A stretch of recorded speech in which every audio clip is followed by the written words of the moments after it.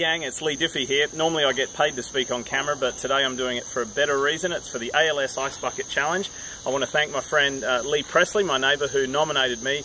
Um, I'm going to do both. I'm going to dunk and donate, and in fact, I'm doubling down because you might be able to see I'm already wet. I've already done it once, but Lee, who's filming this, forgot to press start.